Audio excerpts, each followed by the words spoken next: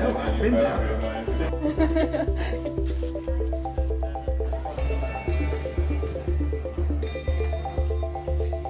Just to get started, to convince your upper management, this is a very, very powerful tool.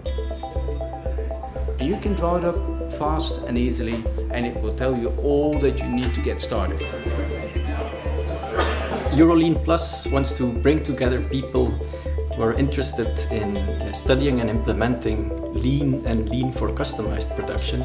But actually the ambitions of Eurolean Plus go beyond that. We don't just want to bring together people and share knowledge.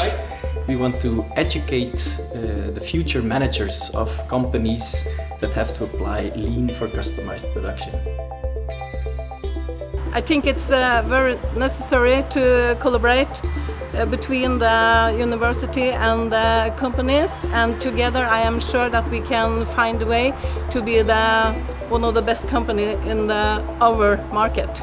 I think lean and, and uh, QRM are very important and I see a huge potential for our production and our processes to improve.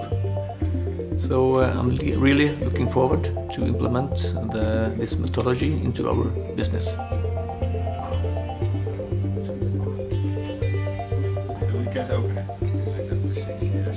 Uh, and these workshops that we are now uh, engaged in uh, is very good because you get to interact with uh, other companies, learn from them, and you get uh, all the words and terms and techniques underneath your skill. So it's very good. Uh, we are following the internal lean program in, in Kongsberg Maritime and uh, we are in that respect this seminar fits very well into that program.